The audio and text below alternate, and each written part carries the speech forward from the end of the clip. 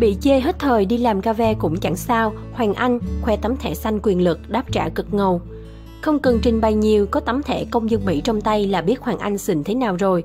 Cách đây không lâu, nam diễn viên Hoàng Anh tỏ ra vô cùng bức xúc khi bị một tài khoản Facebook sỉ nhục về chuyện kinh doanh của mình rằng diễn viên nổi tiếng đi bán thời trang đúng là hết thời làm ca ve. Hoàng Anh ngay lập tức chụp màn hình lại và chửi lại trên trang cá nhân. Ni buôn bán kinh doanh, Ni làm ăn lương thiện, cũng để lo cho gia đình. Ni không hại người, gạt người, Ni không bán thân, không bán thận, không bán rẻ lương tâm. Mà sao chỉ trích Ni dữ vậy, mà sao nói cũng sai. Ni là đàn ông làm sao ca ve được, trai bao mới đúng. Ít phút trước đây, nam diễn viên bất ngờ chia sẻ tấm thẻ xanh là công dân Mỹ chính hiệu, khiến nhiều người phải suýt xoa. Hẳn ai cũng biết tấm thẻ xanh đó quyền lực thế nào. Ở không chỉ đất Mỹ mà còn đối với cả những quốc gia khác, hơn nữa không biết bao nhiêu người phải trầy trật mà không có được tấm thẻ đó.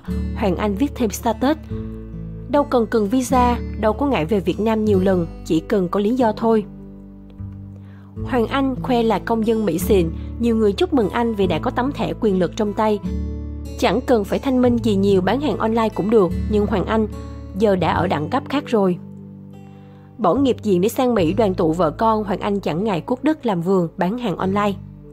Trước đó tạm biệt người thân sang Mỹ định cư, anh đã quyết tâm cao độ. Hoàng Anh chia sẻ trên trang cá nhân cách đây không lâu khi bị chê bai đi bán hàng online. Đây chính là câu bình luận khiến anh bức xúc. Loạt sau việc như băng di, quốc trường Trương Quỳnh Anh quá bức xúc khi Hoàng Anh bị nói như vậy.